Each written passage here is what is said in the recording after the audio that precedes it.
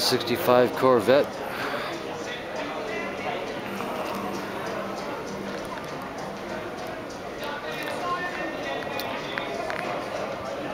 Excellent interior. It's all original too.